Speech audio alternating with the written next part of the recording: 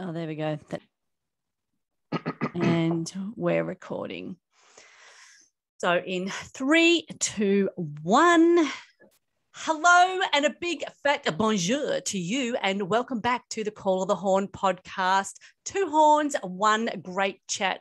Hi, I'm Kristy Horne, and one half of this amazing family podcast. And uh, FYI, a giant hello to stand in cousin Ben, who is standing in for Sarah today because Sarah's had um, uh, her first freedom weekend and is off doing something amazing. So, welcome to the podcast, Ben Kempster. Oh, thank you so much for having me. You've, you've promoted me to co-host already, and it's my first podcast. I'm very happy. I know, Ben. I know. Thank you so much for um, joining us on the old Potteroonie today. It's so good to see you.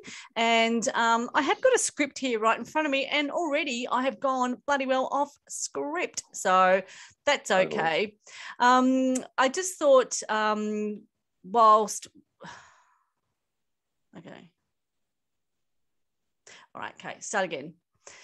Um, so today on the podcast, we have got Ben Kempster, and Ben joins me today all the way from Adelaide. Hi, Ben. How are you? I am so good. How are you going, Kristy? My favorite Excellent. cousin ever. Oh, thank you. You are so absolutely gorgeous. thank you so much for being on the podcast today, Ben. Have you been uh, loving listening to the podcast? Absolutely. And may I say no disrespect to my other cousins, who I also love very, very much. But um, now, now I'm feeling really bad about that. So maybe you could edit that one out for me. Yeah, consider it, it done, edited. Oh, done. Of course, of course. Uh, um, um, I have been loving the podcast so much. It is, you know, I'm one of uh, lots of people love podcasts. I don't love listening to lots and lots of podcasts, but this is absolutely hands down my favorite now because I've been I've struggled to find podcasts I can listen to from the start to finish, but I love it so much. Ah, It's just I- brilliant. Brilliant. Oh, that is so good. And the whole purpose of the podcast was to connect and reconnect family because we're so far apart from each other. And although, like, lots of restrictions and that have just been lifted, particularly in Melbourne, Australia. Mm, But it's been really hard because we haven't been able to see our family or our friends. Um, so Sarah has just been like taken to this like a duck to water. So um, although today, I don't know where she is, she's gone AWOL, man. she's she's taken like a duck to water and just shoot it off to the other side of the pond by the sounds of it. She's like, I'm out of here. Podcast, schmodcast. That's it. Yeah. Talks I'm about done. I'm out of here. I'm gone. Yeah. First day of maybe she- freedom. First day of freedom. She's probably like, No, you go. no, you go. yeah, she's like, first day of freedom. I'm out of here, man. Screw you and your podcast. I think she actually got a phone call from Mick Molloy or someone like that. She's been asked to actually go into the Triple M studios and do it for real. Oh, God, that'd be right. That'd be right. So every every podcast we um you know we get to know one of our family members we shine the spotlight on you know someone amazing in our extended family and this episode um, we are going to be chatting we are chatting with uh, benjamin kempster who is my cousin from adelaide. And also ben today i will be te- i will be testing out on you. You will be uh, numero uno to um, a new segment which is on the call of the horn podcast. So i hope you're going to be a bit excited. It's called would you Oh, rather? Yes, I love a new segment. I'm so ready for Would You Rather. That sounds like to be It's so good. It's so good. It's so good. All righty, Ben. So why don't we just um, you know, fast forward with this chitty chatter and get to know you a little bit better. So Ben, Yeah. why don't you tell us who are you and like how do you fit into this amazing family? All right, so I am uh, Ben Kempster, as you've so lovely intro- intro- introduced me so nicely. Uh, I am son of Joe Kempster or Lyndon Kempster. I'm actually, of all the four Kempster kids that then went on and had their own kids, I'm the youngest cousin, which is kind of strange. Um, so, yeah, you have to think about Oh, that. did you see my eyeballs? My eyeballs were going like around then. I was like, whoa, whoa, whoa, whoa, what? Yeah, your pupils dilated. You're thinking, "Whoa, I just blew your mind." I know. I'm the. I'm the my own sound effects. you got Mm. the spring. That's the spring coming out from behind your eyeballs. Yeah, no, I am the youngest cousin, and and I'm um I'm 44, 45 next month. Um, I ha- have a wife. I'm married to Sarah. We've been married 15 years just this week. Oh, congrats. congrats Um, yeah, to you two. you. That's awesome. I know, and you were there on that day. You you guys stayed up in the Barossa, didn't you? You had Yeah, lots yeah, of people do. in that really nice house. Yeah. Um, oh, yeah, the is- house. Oh, the Yeah, house. yeah. That's right. Actually, I was thinking of um the caravan. That was Stephen and Adele's. Yeah, Stephen's wedding caravan. Our place, our wedding is like you know you got to upgrade. It's a bit more fancy. the accommodation was good. It was great. Oh God, yeah. Anson, Karen, and Howie and I rented this beautiful house in the Barossa. Man, it was fun. I remember we got absolutely wasted the night before your wedding. Were you there? Can't even remember. At the wedding. yes, of course. You don't remember. That's right. Yeah. Oh yeah, you you yours is at a beautiful winery. Yeah, so we got married in a garden, and then the winery was across, sort of just a bit down the down the road at uh, Winery, which which then it was very small. Now it's just recently been sold. So the, that family have sold it, and now someone else has bought it. It's grown a lot Wow. since we uh, since we had our little wedding there. Yeah, so that's and since then we've had a, a son. So I have a son called Reed. He's seven, and he's in year one at school, and uh, he's he's just a go getter. He loves He's a little legend. lots of sports. Oh, he loves it all. Sports. He likes remote control cars. He likes all sorts of stuff, and he likes he loves Lego. He's mad for Lego. Oh, really? And uh, totally. And we have a dog called Turner who we've kind of um, we're kind of looking after long on a long long term loan from Sarah's mum and dad. So we've got him, and we're like, uh, we're not giving him back. We're keeping him. So and he's he's 12, and so he's an old dog. He just likes to sleep and be around us. So that's that's me and my family. Oh, how nice. That's so lovely. I knew all of that, but um, it's so nice to share it with our, our 120 listeners because we, uh, yes, yes, folks, we have got more listeners than we know what to do with. Um, but that's so nice Wow. that you've got Turner. You've taken Turner under your wing, and he's a beautiful dog, isn't he?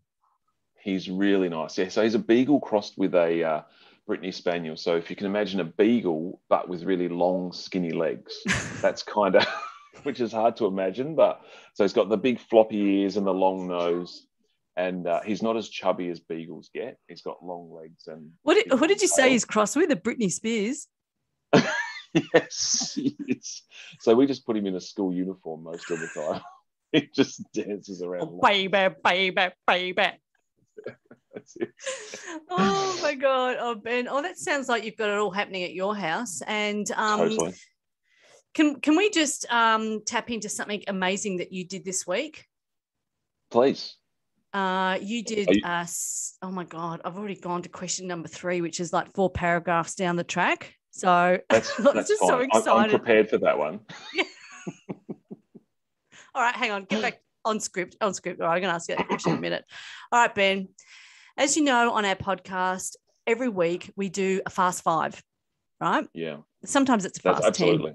It just It's- it's just good. depends. It's fluid, right? So because there's only um there's only me and my partner in pod isn't here today, I'm going to give you a fast five, right? Yeah. don't be okay. scared. Don't do not be scared. Um, I don't want you to hold back. So I'm gonna I'm gonna fire five questions at you, Ben. Let's just go please. for it. Let's just go for it, all right? Let's do it. Yeah. all right. Okay. Here, sure. question one. Righto, Ben. What is your super skill? Like, what are you really, Oh. really good at?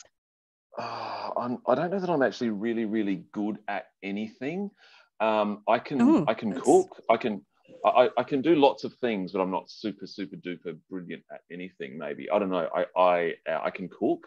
Um, I can, I can do lots of things at once. So I can, sort of, oh, you I seem can, like a Swiss Army. multi-skill. You're a Swiss Army knife. Is that what you mean? You got lots of things Yeah, going yeah. on. like I could take the bins out and I could also make sure my car is locked and also say hi to the neighbor and water the lawn all at once kind of thing. You know what I mean? That is a super skill. That's pretty amazing, actually, because Yeah. you know some people can only do one thing at a time. But you know, like don't no, don't interrupt, blah blah. But you know, that's that's pretty amazing that you can do all those things at once. Yeah, but I'm also very forgetful. So because I have a lot going through my mind most of the time, I tend to forget things as well, which makes my wife of 15 years, Sarah Kempster, very frustrated sometimes. Oh, bet she's got the fry pan, she's like whack on the back of the head.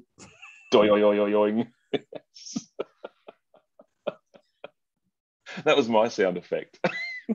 Oh my god! All right, moving right along. Question number two on our very fast five with Ben Kempster. Ben, mm-hmm. what is your standard fish and chip order, please? I generally just go for chips and maybe a piece of fish, which I know is very standard, but occasionally I'll get a steak sandwich. But I do like I do like their little salads too. You know what I mean? Like you get a bit of coleslaw and a bit of pasta, and oh right, maybe that's just you know how they have the salad bit to the side. You can get yeah. those little salads. But I'm just a hot. I just like the hot chips and maybe yeah maybe a um, steak sandwich. Oh, that would be really good. Yeah, that would be my order. That would be my favorite oh, order. Yeah. I would never ever think to go to the fish and chip shop and get a steak sandwich. Or maybe they're different here in Adelaide because steak sangers and hot dogs and you know pineapple fritters and dim sims and all that sort of stuff are very standard here. Mm. Um, but mm. then they'll have barbecue chickens. So if you go to a fish and chip shop here, they do barbecue chooks as well. Maybe that's just yeah. an Adelaide thing. Maybe. okay, yeah. so potato cake or potato scallop?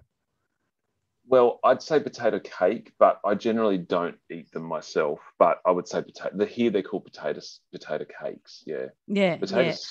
a scallop is like a isn't that a thing you catch in the ocean? comes in a shell.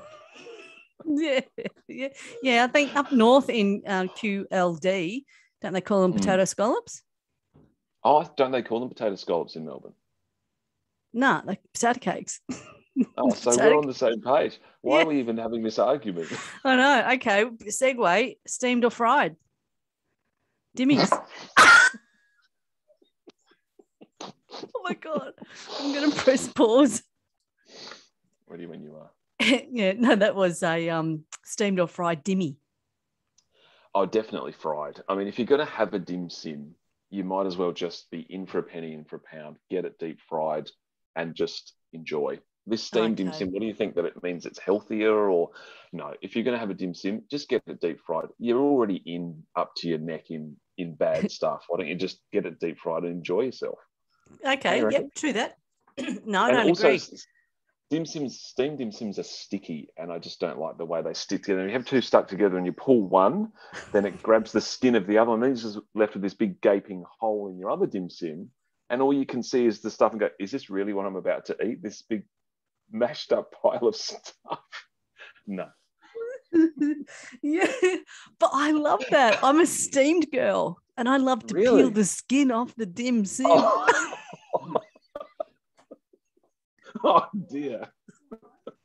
I do. I fed him do. I'm like, I'll eat and, the skin first. Oh, gross. And That's then disgusting. just be left with like the, the giant like dome of mashed up stuff, and you actually still. okay. yeah. I think it should be a.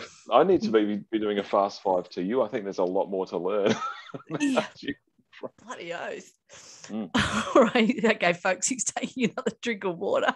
All right. I need to stop. yes. Stop drinking water. yeah, because then you'll need to go to the toilet. And, yes. All right, we're only up to question number three for our fast five. I need to re rename this segment. um, okay, Ben, you're a part time uh, comedian, stand up comedian uh, mm. in brackets, make us laugh, tell me something funny, close brackets. Can you tell us about this side hustle, please, Ben?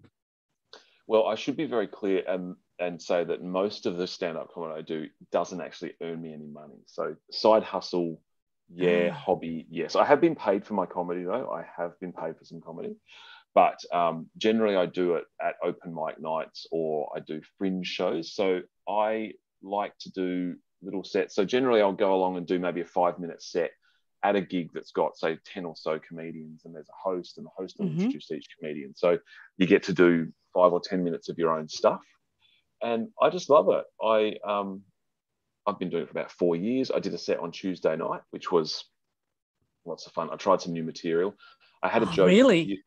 yeah i did and i got some laughs and some not laughs. I made a joke about cauliflower rice. Have you ever had cauliflower rice? Yeah. How Yeah. how awful it is. It smells so horrible. Like It just totally pongs. revolting. Yeah. Mm. Oh, it's awful. So I just had a joke about how bad cauliflower rice smells, and that bring it into the office as leftovers, that everyone else has the right to kick you out and make you eat it outside. yeah, that's Um, so true. And then I also had a joke about um, cheese and cabana. That it doesn't matter how far we advance as a as a as people as civilization. There's always a place for cheese and cabana in society, which I think is a good thing. Oh, And that got a good couldn't laugh. agree more.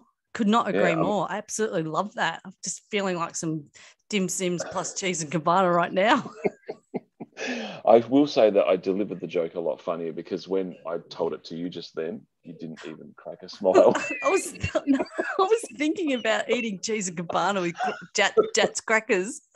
Oh, yum. Or with the toothpick, and you just sort of you know, Yeah, yoink yeah. the whole thing off. Yeah. Yeah, and then get the toothpick and get those bits out. Oh, well, Ben, you know that I think you are probably one of the funniest people I know, hands down. Oh, so I'll just love anything. Um, question number four: You're also an Mm. actor, Yeah. Ben. So why can, can you tell um, tell all of our 120 listeners what shows, movies, productions you've starred in, and any funny areas in this, uh, any funny memories in this area to share Well, that that you can think of? No pressure. I am thinking of a particularly funny time. So yes, I am an actor again. This is not really paid work because I do I do lots of little things. I do voiceovers as well, and I do get paid for my voiceovers, which is good. So that's actually a bit of a Oh. side hustle that I do get Oh. paid for. Um, but I do some acting. So I've done some plays and I've done some theatre, and I just did Mamma Mia this year. At the start of this year, I did Mamma Mia, which was so much fun, and I played the if you know the story of Mamma Mia, there's three possible dads for this girl uh, who's the star of the, the show. And I was one of the possible dads, but I had to play an Aussie, but not just like me as an Aussie. It was like a yeah, mate, how's it going? Kind of yeah, nah, kind of real ochre Aussie. and my name was Bill. So Was that recorded Cobra- at all, Ben? Was that recorded at all? uh, no, you're not allowed to record. You're not allowed to Oh. record these shows. It's actually illegal. Um, you can get in trouble from copyright stuff. So Okay. no, unfortunately not. There's lots of photos, but it was just so much fun. So I got to have a sing and a little bit Mm. of dancing, which I don't love dancing, so I was kind of up for that. Um, but just a good, fun character role. So I love that sort of thing. Um, What about TV? done- Have you been on TV, Ben? No, I've never done. Oh, I've been an extra in McLeod's Daughters once. Does that count? Yeah, yeah, like Water Rats, Neighbours, Summer Bay. yeah, no, none of those. None of those hot locations. I've been to Summer Bay in New South Wales. I've actually been to the beach and have. It's really. It's That not that counts. really. Oh, It counts, no? And uh, well, look, uh, you couldn't go into the, you couldn't go in and see Alf, you know, or anything like that. You could Oh. just see where they film it. So yeah, So it's no. Glenelg. It's no Glenelg, is that what you're saying? no, nothing compares to. It's no, it's no Maslins.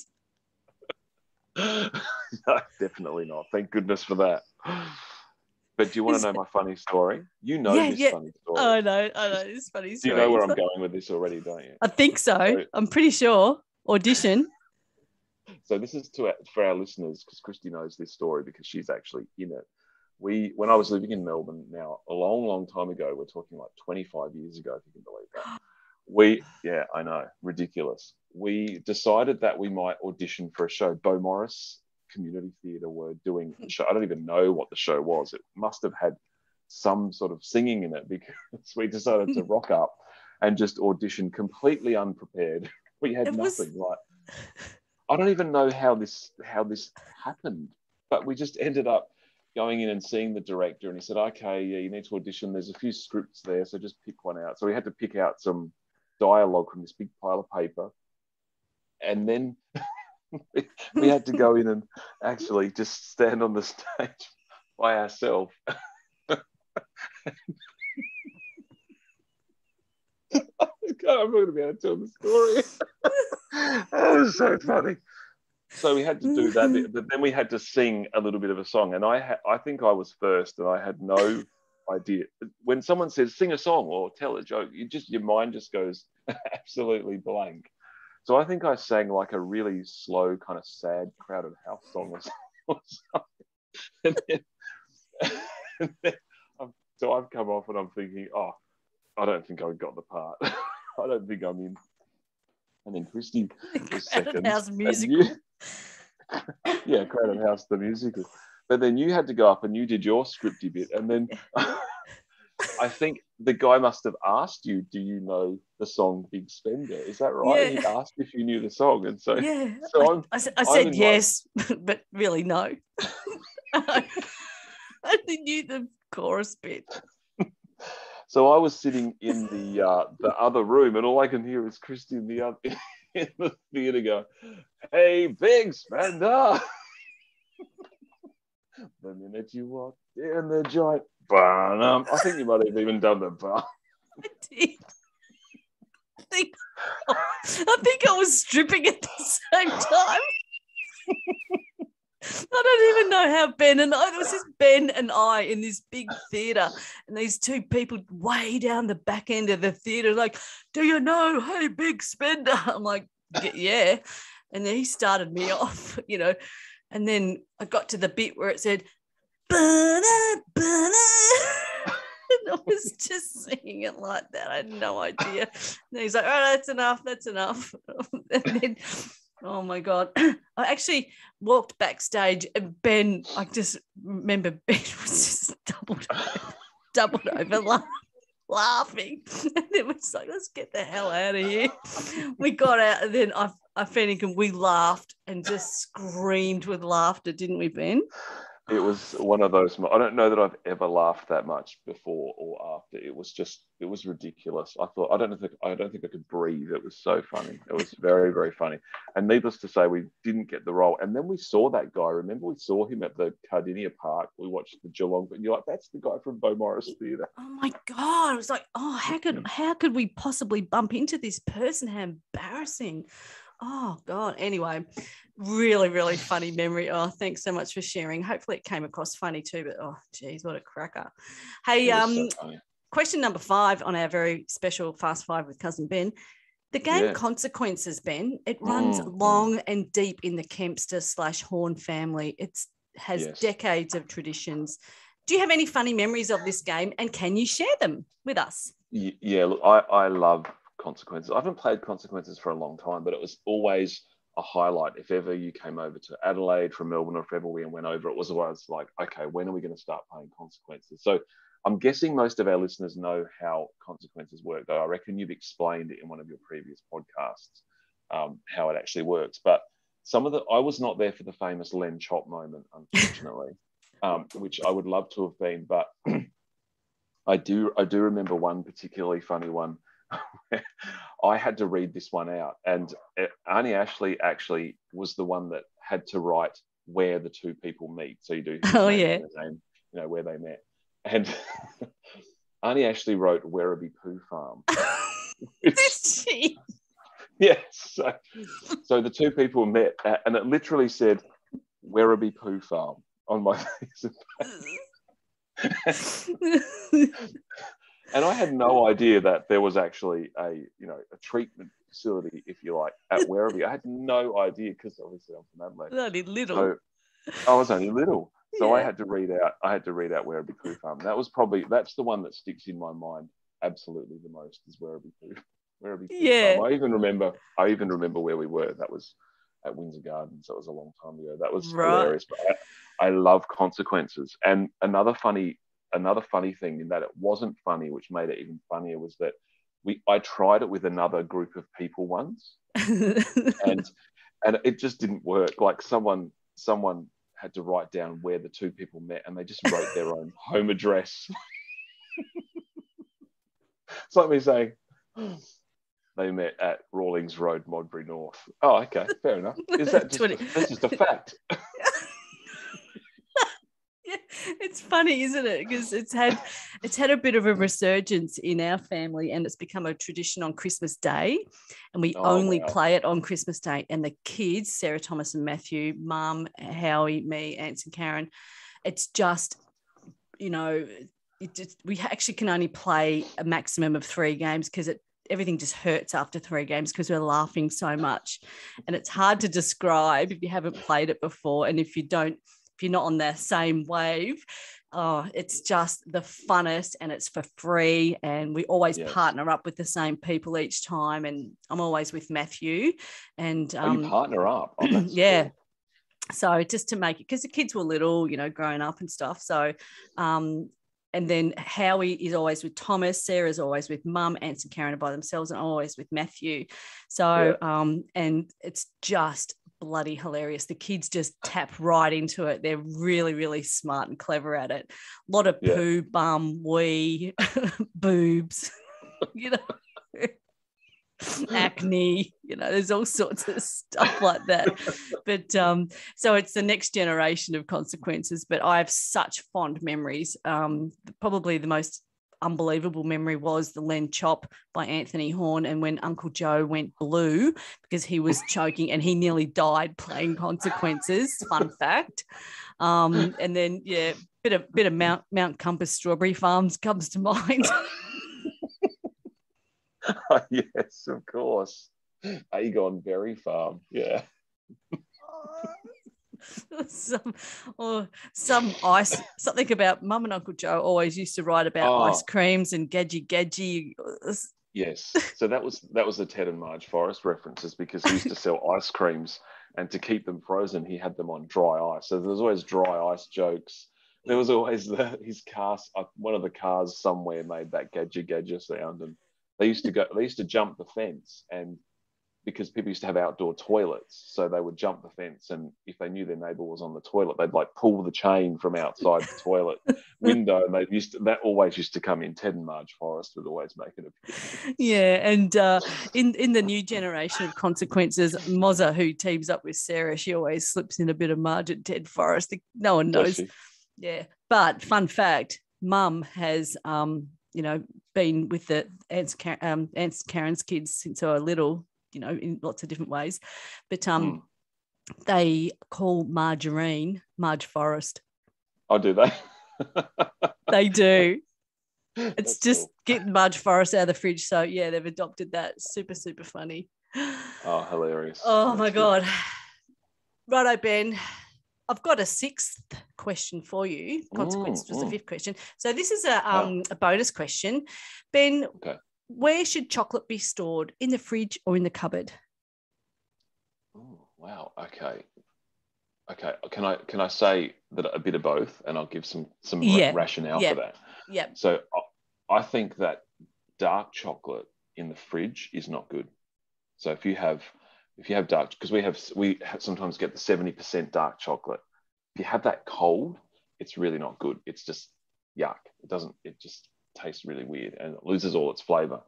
But I love milk chocolate from the fridge. So if you have like a you know like a mint one or just a plain dairy milk one, and that's in the fridge and it just has that snap. I Mhm. really love. I love cold milk chocolate, and I like room temperature dark chocolate. Right, So sorry right, to- yeah. Sorry to give an answer both ways, but No, no, no, I need that's to fine. qualify. It Mm. is a you think? dividing question. It really is. Mm, I I mm. like my chocolate at room temperature.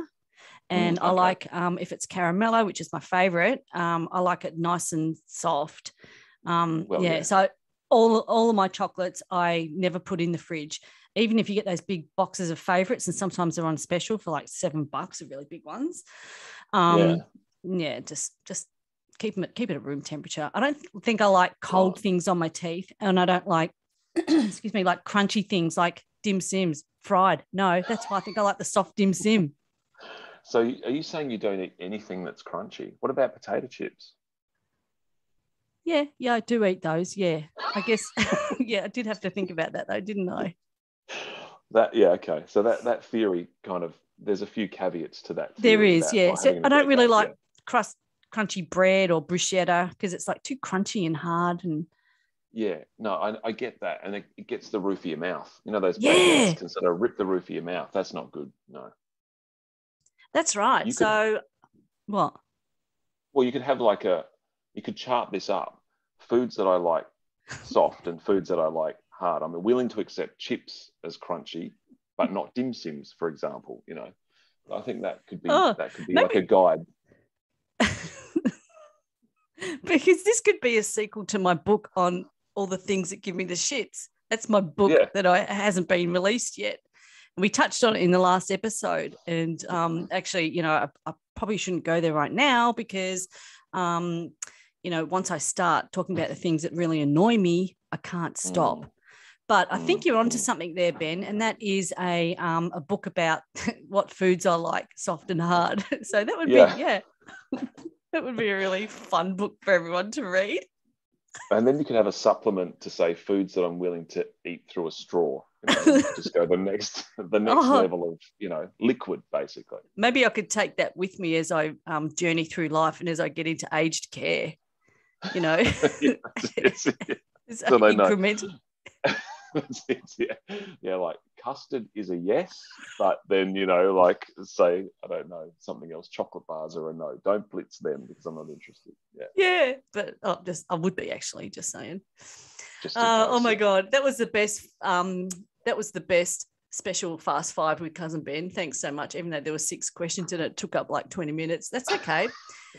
Finally, Ben, we have a new segment here on the podcast, and it's called "Would You Rather."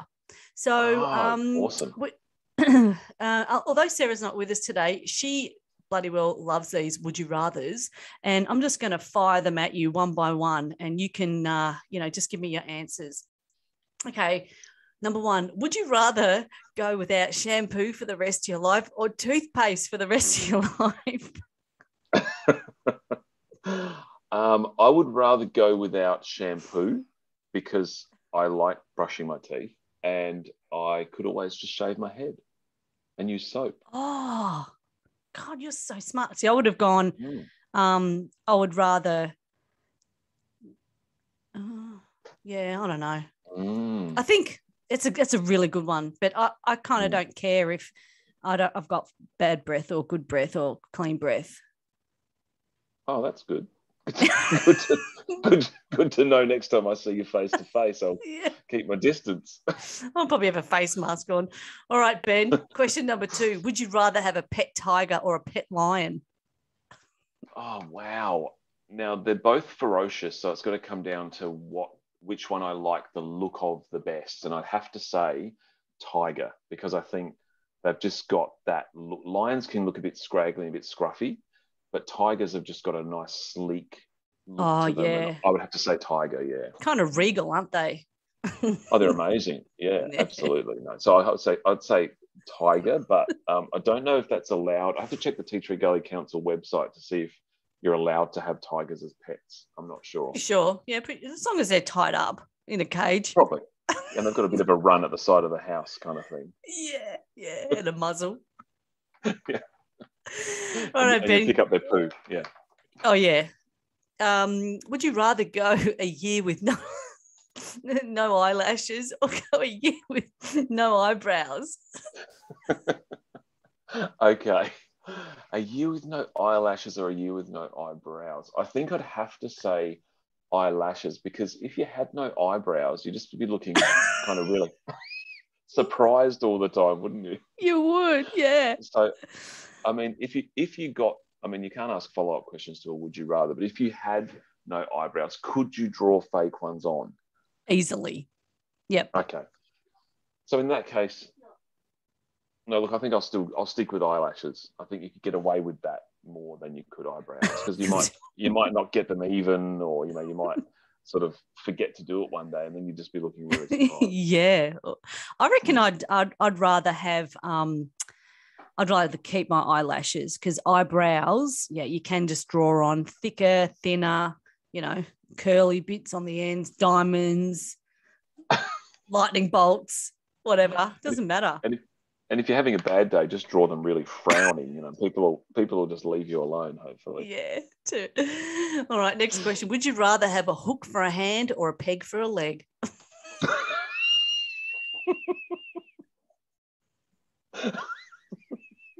Okay.